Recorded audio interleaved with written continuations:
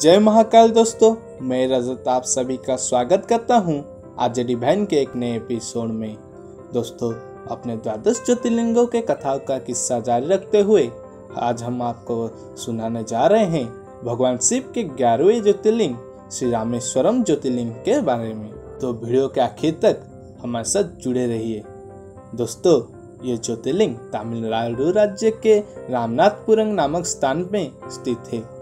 इस ज्योतिर्लिंग के विषय में ये मान्यता है कि इसकी स्थापना स्वयं भगवान श्री राम ने की थी। भगवान राम के द्वारा स्थापित होने के कारण ही इस ज्योतिर्लिंग को भगवान राम का नाम रामेश्वरम दिया गया है।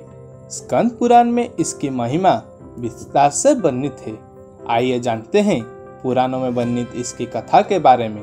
दोस्तों, अगर हम इस ज्योतिर्लिंग के स्थापना के ऊपर विचार करें तो पौराणिक मान्यता के अनुसार जब भगवान श्री रामचंद्र जी लंका पर चढ़ाई करने के लिए जा रहे थे, तब इसी स्थान पर उन्होंने समुद्र की बालू से शिवलिंग बनाकर उसका पूजन किया था।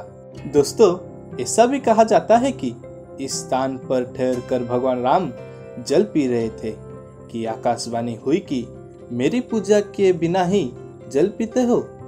इस बानी को सुनकर श्री राम ने बालू से शिवलिंग बनाकर इसकी पूजा की तथा भगवान शिव से रावण पर विजय प्राप्त करने का वर मांगा।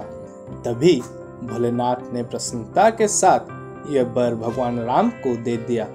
भगवान शिव ने लोक कल्याण के लिए ज्योतिर्लिंग के रूप में वहाँ निवास करने की सबकी प्रार्थना भी स्वीकार कर ली। तभी से यह ज्योतिर्लिंग यहाँ विराजमान है। दोस्तों अगर हमारे आज की वीडियो आपको पसंद आई है तो लाइक कीजिए, कमेंट कीजिए और अपने दोस्तों के साथ शेयर कीजिए।